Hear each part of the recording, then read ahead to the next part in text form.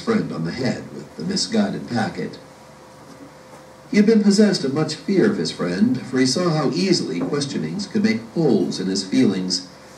Lately he had assured himself that the altered comrade would not tantalize him with a persistent curiosity, but he felt certain that during the first period of leisure his friend would ask him to relate his adventures of the previous day. He now rejoiced in the possession of a small weapon with which he could prostrate his comrade at the first signs of a cross-examination. He was master. It would now be he who could laugh and shoot the shafts of derision. The friend had, in a weak hour, spoken with sobs of his own death. He had delivered a melancholy oration previous to his funeral, and had doubtless, in the packet of letters, presented various keepsakes to relatives. But he had not died, and thus he had delivered himself into the hands of the youth. The latter felt immensely superior to his friend, but he inclined to condescension. He adopted toward him an air of patronizing good humor. His self-pride was now entirely restored. In the shade of its flourishing growth, he stood with braced and self-confident legs, and since nothing could now be discovered, he did not shrink from an encounter with the eyes of judges, and allowed no thoughts of his own to keep him from an attitude of manfulness. He had performed his mistakes in the dark, so he was still a man. Okay, that's pretty significant. You guys should write that down. How has Henry's attitude changed? Does he feel like he got away with it? And now he's feeling superior to his friend who actually was in the battle and did fight.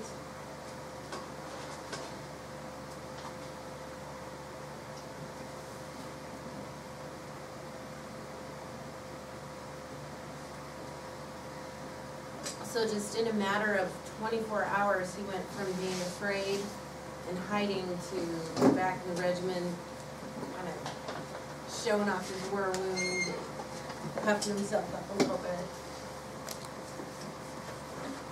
Indeed, when he remembered his fortunes of yesterday and looked at them from a distance, he began to see something fine there. He had license to be pompous and veteran-like. His panting agonies of the past he put out of his sight. In the present, he declared to himself that it was only the doomed and the damned who roared with sincerity at circumstance. Few, but they ever did it.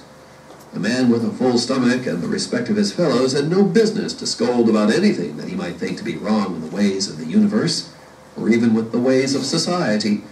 Let the unfortunates rail. The others may play marbles.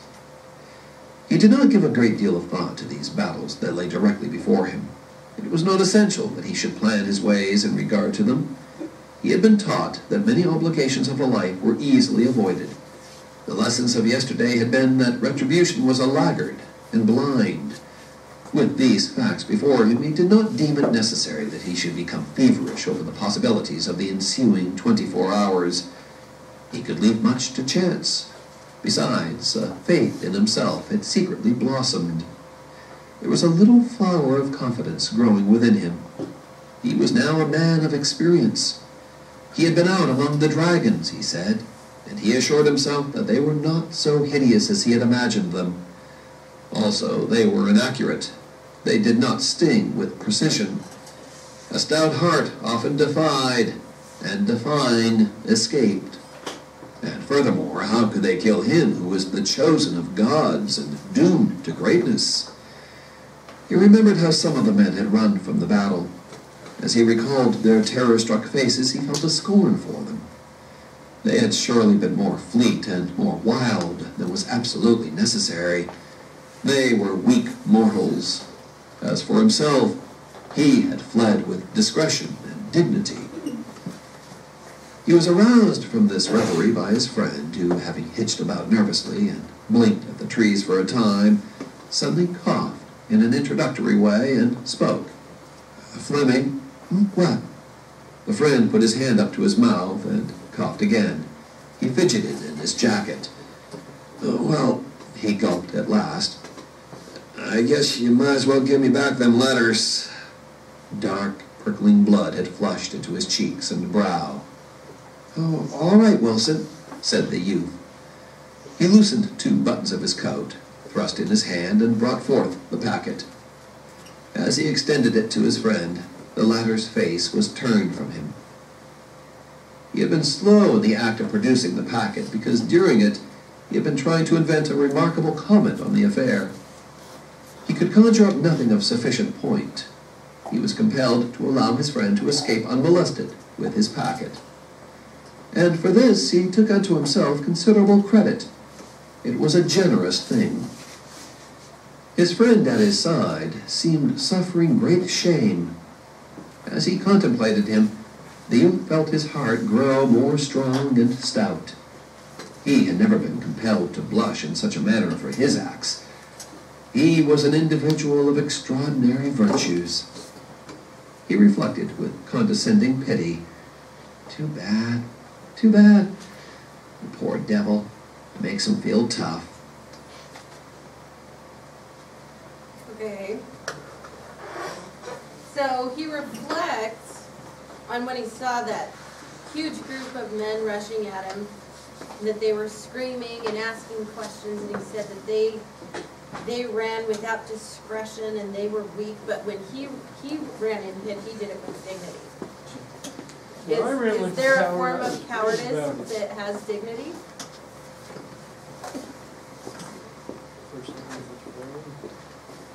And then he, he felt that he was being generous for not giving his friend a hard time and giving him the letters back. He's turning into a So Henry's character's changing quite a bit.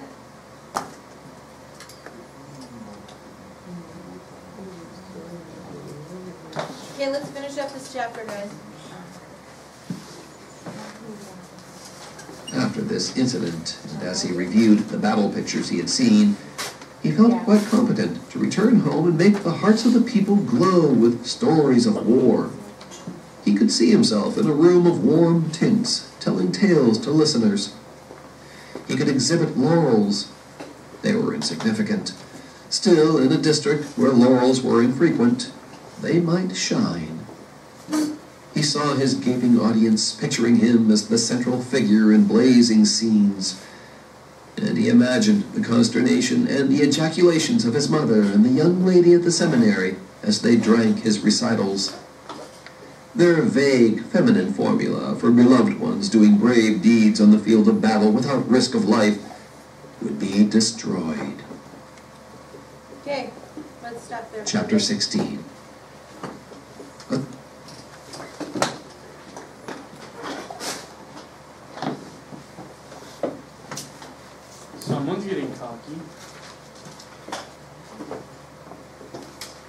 Definitely. Yeah, notice the, uh, right, Mr. Armsbaugh? The almost like evolution of this kid who starts out thinking of himself as a hero, then goes to a coward, now beginning to rediscover some of that heroic tendencies. Um, one thing I want you to put in your notes, and I don't know if I've mentioned this yet, but uh, I'll, I'll say it now so you want it in your notes. Crane at 3A, this is a 3A observation. Crane, the author of our text, is working with a very famous story in the back of his mind. That story is mentioned early in this text. What is the greatest single literary text about war ever written? The most famous song of war ever written in the Western tradition is what text? Do you remember what it's called? The Iliad. Outstanding. Outstanding. Homer's Iliad. For those of you who saw Brad Pitt's film Troy, you know the story of the Iliad. For those of you who have ever seen Monty Python's Holy Grail, you know there are references to the story of the Iliad with the Trojan horse or the wooden badger. For those of you who uh, watched that film, The Odyssey, uh, you know the story of the Iliad. The Iliad is the great story of war fought outside the walls of Troy, the greatest city of the ancient world, where men collided in major battles. Of course, the most famous fight in the Iliad is when Achilles, the great warrior of the Greeks, and Hector, the great warrior of the Trojans, meet outside the walls of Troy in a monumental battle where Achilles kills Hector. And ostensibly, that will lead to the end of the war with the Greeks winning and the Trojans losing. Of course, anybody who lives in Troy is called a Trojan, right? So, Crane is playing a game with us as readers, assuming we know the great story of the Iliad, and he will play a different kind of game from a psychological perspective. The young kid wants to be Achilles, and unfortunately, he ends up acting like something other than Achilles for much of the story, right? The other thing I want to point out to you is that this is a story that plays a similar game to what we do in jam writing. You'll want to write this in your notes as well. Constantly, the young man in this story is playing the game of internal dialogue, where he's talking to himself. Think about for a moment the way that jam writing, Ms. Torres, plays a similar game. So let's say, for example, you're out driving in the middle of the Badlands late at night, and all of a sudden you're alone, and all of a sudden your car breaks down, right? What's the first thing that you do? Well, Ms. Murray, we won't argue why you're in the Badlands in the middle of the night in your car alone, but it, let's just say that you are, and it breaks down. What's the first thing you do? You're all by yourself, Miss Vigil. First thing you do, right? You start you start talking you start you start talking to yourself right so oh this is just great now I'm, oh, what am I going to do? Now I'm in trouble. I know I'll call on my phone. My phone isn't working. Now I get out, I slam my door. Now I'm opening the hood as if I got any clue what I'm going to do under the hood. And if I were to step out from behind a sagebrush and ask you, who are you talking to? Yeah. You would, of course, jump out of whatever underwear you used to be wearing, right? Uh, but, but, after all of that was finished, you would have to say it out loud. Well, I didn't have anybody else around, so I was talking to myself. The truth of the matter is, if you watch young children playing, they play often alone with their Legos. But if you look at their, at their mouth, their lips are moving. They are talking to themselves. I'm going to do this, then I'm going to do this, then. They're talking to themselves. You were doing this from the age of two when you acquired language. And you constantly were talking to yourself. By the time you hit kindergarten, first grade, those teachers will tell you. They have to teach kids how to stop talking out loud because they're talking to themselves. So, for example, if you go into a kindergarten classroom and they're doing artwork, they're all sitting by themselves, but all of their mouths are moving. They're talking to themselves. If you've ever seen ball players do this, I know. A baseball player backs out of the batter's box as he's ready to hit. The camera will come in on his face his lips are moving. Dude, he is not talking to anyone other than himself. We do this self talk thing all the time. Freud said you're doing it right now. He said you're doing it right now. Inside of your head, you're actually, I wish you would shut up and we could get on to the next thing so I could get to break and then I could be done with this stupid thing. And why did I have to take summer school anyway? Blah. That's constantly going on in our head.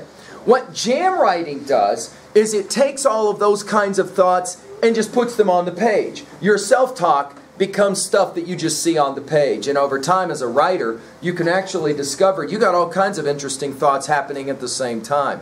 I want to point out Crane is playing an interesting game with us where he shows us a lot of the self talk of this kid. And in the process, makes us ask, what kind of self talk would we have in a similar circumstance? Several times Ms. Laird asked that question how would you respond if you were in a similar, a similar kind of circumstance? Fascinating. All right, we'll now move on uh, to our work before break. You need to open uh, your hymnals to page 681. And you need to have a blank sheet of paper out now for your uh, annotation work. Right away, you want to number down that left hand side of the page 1, 2A, 2B, 3A, 3B. What was the page? Uh, 681. By the way, I just happened to scan my eyes across the room and I see that Mr. Drake has brought with him the volume of Harry Potter, and it makes me think of this. The novel you're working with now, Red Badge of Courage, is an extremely famous novel. Are you ready for hello? Hello? Extremely famous novel. People who you read today, writers, we think, for example, of the author of Harry Potter, know this novel, Red Badge of Courage, very well. And they sometimes will make references to it or draw on it or whatever, right? The story of a young boy who has to overcome his fears to become a hero, right? We're familiar with that storyline. It's a very ancient one. All right, here we go. We now will spend a little bit of time working. Again, all I'm trying to do with you here is to help you learn how to do this annotative process thing. I'm trying to show it to you over and over again. So you ought to have your hymnal open now to 681. We're going to be looking at the Rita Dove offering, Grape Sherbet. I always have found this a remarkable little poem. I think sometimes, Mr. Amsbaugh, a poem like this is wasted in a freshman anthology. Freshmen, it seems to me, are often incapable of appreciating a poem of this strength. I'll try and point that out now. Let's first of all assume you've already logged in. Let's assume you've listed down the side, left-hand side of the page, 1, 2A, 2B, 3A, 3B. Um, hello? Hello? One of the things that will tell you you're growing as a reader is when I start to make observations and you can immediately tell if I'm working at level 1, 2, or 3. And the notes then that you make down, in other words, you don't need me to tell you, hello, I'm about to make a level 2B observation. I don't need to say that anymore. You'll already know. When he starts talking about the form of the poem, he's talking to B. I'm going to jot down a note there. When he starts talking about what the poem means, he's talking to A. I'm going to jot that down there. When he starts talking about how it relates to another text, I'll just jot that down at 3A. When you know that you're there, you've moved to the next level as a student of annotation. And guess what? Your reading starts to go up. Why does it matter if we read? Because if you're a junior or a senior, you have to take what's called the ACT to get ready to go to college. That is a three hour reading test. I'm going to continue to argue you want to learn how to annotate your test booklet. Mr. Uh, uh, Staub, soon Mr. Duer, the ones giving this test, will always say you can write in your book. That means you can annotate. By the way, let's point out, we won't be using these anthologies again. We're done with them.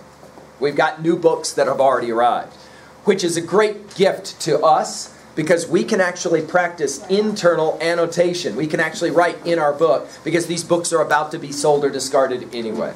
So you've got red ink in your hand. We'll go ahead and look at this poem quickly, do a little bit of practice annotations. For those of you going on to college, guess what? You'll buy your books, Mr. Bolts, and the expectation is you'll write or annotate in them, right? All right, let's work together now. I'm on page 681. Focus, concentrate with me. Again, if I don't feel like you've done a, th a, th a, thorough job with your annotations at the end of this presentation, I'll just ask you to stick around for five more minutes into the break to make sure that it all gets done. All right?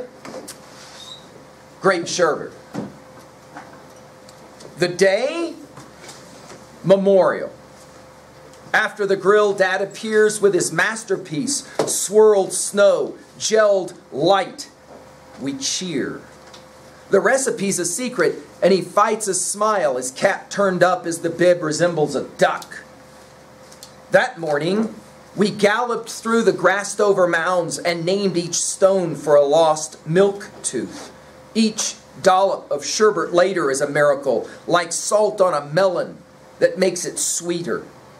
Everyone agrees. It's wonderful. It's just how we imagined lavender would taste. The diabetic grandmother stares from the porch a torch of pure refusal. We thought no one was lying there under our feet. We thought it was a joke. I've been trying to remember the taste, but it doesn't exist. Now I see why you bothered, Father. Now I'm going to point out right away this is a far more complicated poem than at first glance appears. And I also want to argue that Rita Dove, the genius American poet Rita Dove, is doing something quite remarkable in this poem. And it all begins with the opening line. Notice, the day, question mark, memorial. And right away at level one, we're going to write down what does Memorial Day mean and what is it that happens on Memorial Day? What is it that happens on Memorial Day? Are you familiar? We just recognized Memorial Day. What is it that happens on Memorial Day? It's a special day dedicated to what? The fallen, isn't it? The fallen. More particularly, what do you do on Memorial Day? If you have individuals who in your family who have fallen in wars, in battles, you memorialize them by going where? Where do you go to memorialize the dead? You go to a cemetery.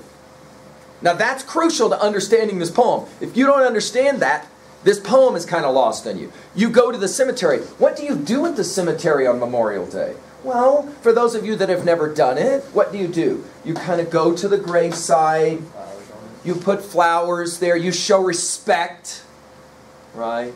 The stories that are told in Red Badge of Courage draw pictures of what it means to be in battle, where young men and, of course, women die. And then they want to be remembered afterwards. So that's what Memorial Day is. Number two, this poem is a reflection back in time to when the poet speaker was a child, a little kid, who is trying to understand or come to terms with this strange day where two things happen. One, they have to go to a cemetery but if you're a little tiny child, the obvious question is Are we at the park? This must be a strange park. Think of it. If you're a child, how do you understand a cemetery? An adult will say, No, no, no, honey, this is no park. This is not a park. Well, what is it then? Well, it's called a cemetery. Well, what is that? Child. What is that? Well, it's. And then all of a sudden, an adult, it hits you. Crap, I gotta try to explain this to a little kid. Under the ground are dead bodies. Right? How else are you going to explain this to children? Under the ground are dead bodies. They used to be alive, just like us. Then they died, kind of like your goldfish did that one time. And then they're put under the ground. They're dead bodies where you're walking. Of course, how do children, how do children think about a cemetery? They do what? They run around and play, don't they? It's kind of a strange game. You maybe don't recall the first time you went to a cemetery if you were a child. It's a strange place. You probably saw it as kind of this surreal, it's always quiet. It's always well groomed, usually, right? Grass is really nice. It's like a nice grass. If you're a child, you see grass, what's your first inclination? You want to run, right? You want to run and play. And that's exactly what children will do. That's the first thing that happens on Memorial Day for this child in her recollection. The second has to do with her father's making of a very popular eatery, a little dessert, sherbet. Only a special kind of sherbet, grape sherbet, which we're told he has a special recipe. Nobody knows exactly what's going on. So in this poem, you've got a child who's trying to figure out the bizarrity of on the one hand, you got to go stand next to these like pieces of rock stuck out of the ground. We call them cemeteries. But on the other hand, you get this great tasting sherbet on the same day. So you got these two things happening. Well, of course, we understand Memorial Day is a day for us both to be sad and to reflect, but it's also a day to celebrate and be happy, and therefore the sherbet. Finally, the poem will end with an observation about her father clearly her father, this is a tribute poem to her dad, her father isn't alive anymore. And she's reflecting back to this amazing man who had this capacity to make this sherbet. She captures something, though, about children in the poem that is quite remarkable when we read this as adolescents. Let's take a look now at the poem. The day memorial. After the grill, why grill? What else do you do on Memorial Day? And some of us love this. What do we do on Memorial Day? Fire up the grill. You bet. You either put you put some kind of meat on a grill, and you know, it, for those of us that like that kind of thing, there's nothing that smells better in the early spring or the early summer than uh, you know than than uh, you know a grill that's giving us some kind of food stuffs, right? Uh, take a look at it. After the grill, Dad appears with his masterpiece: swirled snow, gelled light, we cheer. Obviously, a reference here to the title of the uh, of the poem, Grape Sherbet. The recipe's a secret and he fights a smile. Why does he fight a smile? What is it dad likes about the fact? Why does he fight a smile? I don't understand. Recipe is a secret. What's the first question everybody wants to ask about grape sherbet? How do you make it? How, do you, how did you get it to be grape colored? And he won't say. He likes the fact that he can kind of, you're not going to get the secret out of me kind of thing. Smiles. And then we, we learned something interesting about our dad. Some of you grew up with people like this. The, uh, you respected them, you feared them, but at other times they could be really funny looking people who made fun of themselves. Notice we're told his cap turned up so the bib resembles a duck, right? He's got his hat turned up, right, kind of rolled up maybe. In other words, her first memories from this poem of her dad are what? Jot them down. What does she what does she seem to like about her father? He's a funny guy. What else? What, would, what else would you say, Mr. Drake? You, you need to be writing, Mr. Drake, or you're going to miss break because you'll uh, have to be sitting in here writing. What else would you say about him? He's, he's kind of, a, he's kind of a, an, an artist. An artist with ice. Sherbert. He's kind of an artist on the grill. He's a guy that likes to play the role of being the leader of the celebration. First stanza. Second stanza. Now, and again, see, the genius of this poem is it takes a while to figure out what in heaven's name is she talking about. Watch this. Now that I've told you a little bit, you'll go, oh, this poem is way cool. Take a look at it. That morning, earlier, before they ate the sherbet, we galloped through the grassed over mounds and named each stone for a lost milk tooth. What? Galloped over what mounds? Mounds? What mounds? Where were they earlier in the day? They were at a cemetery, right? Where the mounds, right, of the people buried. What do children do? Well, adults are very somber when they go to a graveyard. Children can't be somber. They don't even know what death is. For them, hurrah, it's a different kind of park. I'll chase you, you chase me, we'll run around. There's these strange rocks that resemble teeth. In what kind of special graveyard did they go where the, the, the gravestones all appeared to be the same? You got it. They obviously went to some place where lots and lots of veterans are buried. Possibly even they went to the greatest cemetery of all for military vets. Where is that? We're talking about where? Gettysburg comes to mind, but I was speaking of the greatest one, the one with the most important of our fallen. Yeah, you're talking about Arlington Cemetery. And if you've ever seen it, it's just miles of the exact same tombstone over and over and over again, looking for a kid like the teeth in your mouth. Right? Kind of got that strange shape to them over and over again. A milk tooth, if you will. Right? They're kids. What do they know? Of course, she, now she joins it together in the second stanza. Each dollop of sherbet, dollop means drop, later is a miracle like salt on a melon that makes it sweeter. Everyone agrees it's wonderful.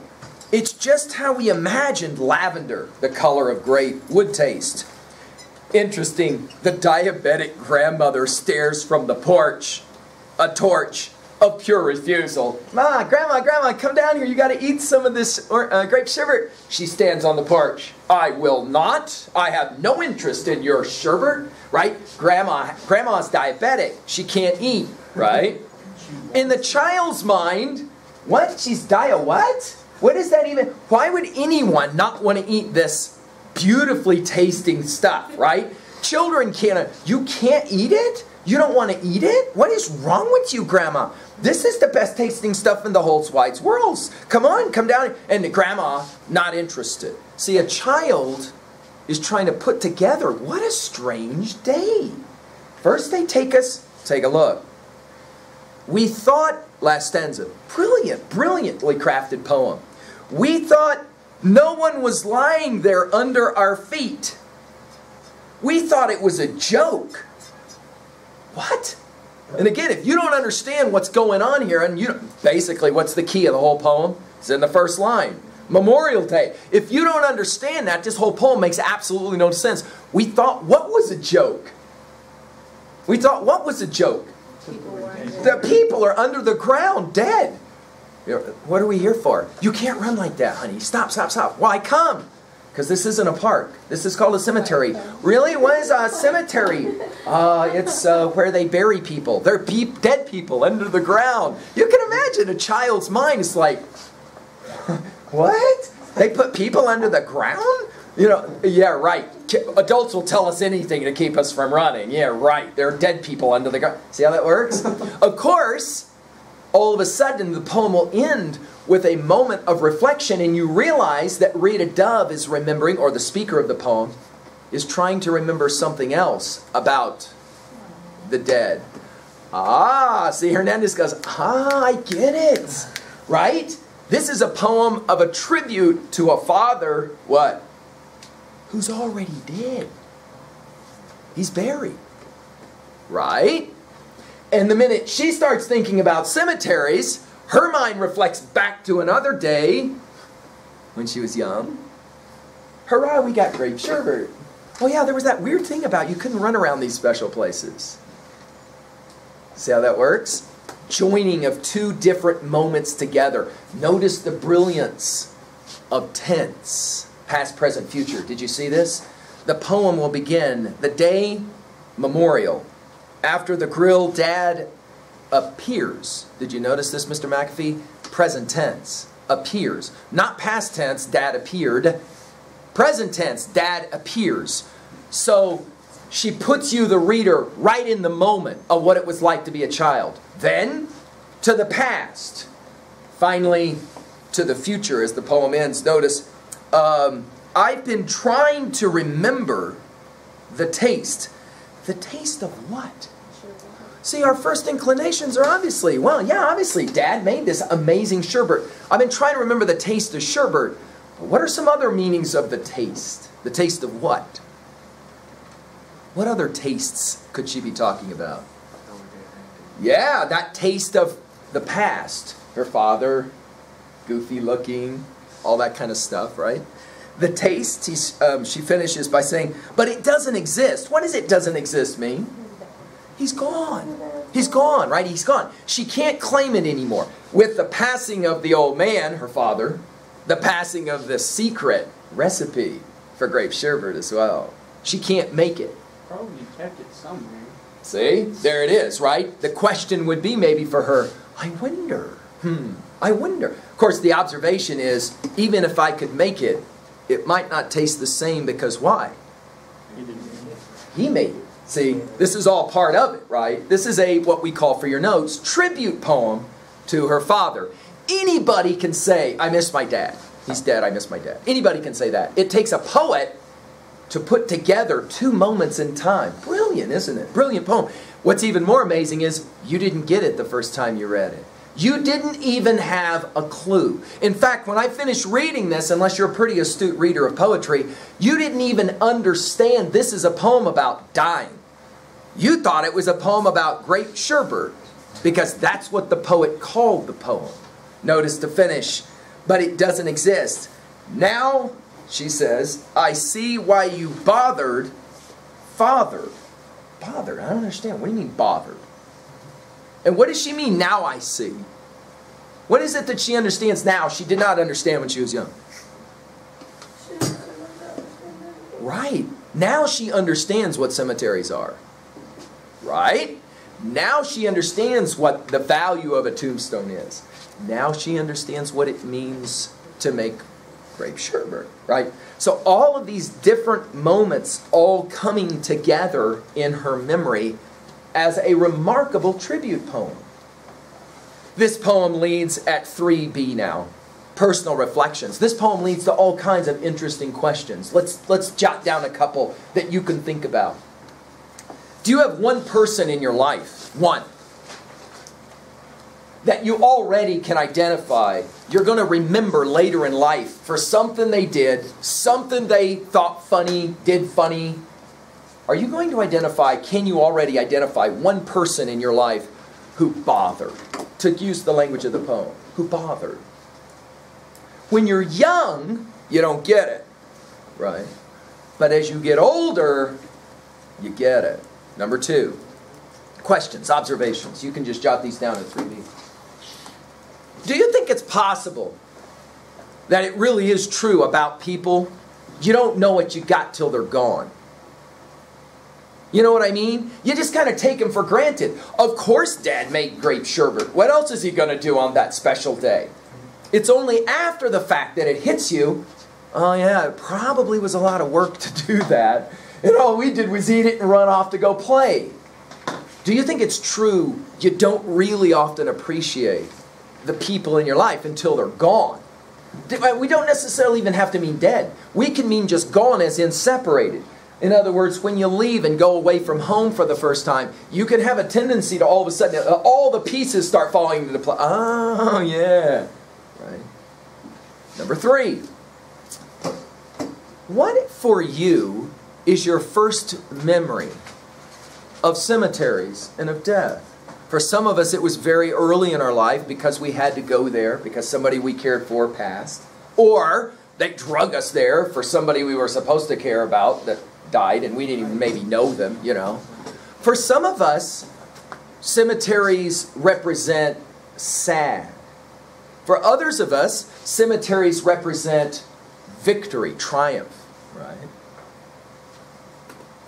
What is it for you? Do you remember when, for the first time, do you even remember when you went to a cemetery for the first time? See, for some of us, that's a memory that is so long ago, we can't even recall what that means, you know, for us. Finally, this poem raises a really interesting question. At some point in your life, you stop being the child who runs around the graveyard naming the tombstone's teeth. And you become the adult who then has to take care of the child at the cemetery running around. You become the adult who has to make the grape sherbet. We're obviously speaking in metaphor, aren't we? You become the adult who has to take care of somebody else. I remember a ball player of mine saying, You know, this whole thing happened to me just the other night in full color because I played volleyball my life and uh, I signed up to be one of the volleyball coaches for a bunch of seven year old girls. And I was at the community center last night. And I am not kidding you. It's like literally hurting cats. I mean, there's just no way. You try and teach them something, they're seven. They're not listening. They're all talking. They're running in a thousand places. And then it occurred to me, I was one of those kids. And there was a coach I had, she said, I know I did, who was a kid, you know, a high school kid. We thought that she was a big grown up person, you see. But no, bro, just a kid, just like me, you know, now. Uh, but it was really interesting. She said, I never thought about the fact that that's how I started learning. Somebody taught me. In other words, at what point in your life do you start to, quote unquote, to use the language of the poem, bother to take care of the younger? Notice at 3a, I'm back to my observation about Psalm of Life. Third graders are looking at you to know how to act. Are you showing them how to act? Do you bother with them? Has the thought occurred to you that a harsh word spoken to a third grader you do not know could change her day, could change her week? Saying something to a strange a stranger who's a kid can somehow have an entirely different perspective on the kid's life. At what point do you kind of start to realize that? You know, Dad in this poem had tremendous power. He still has tremendous power. Right? All right, so there you go. Finish up with your annotations. We'll take a little break. Come back to do a little writing.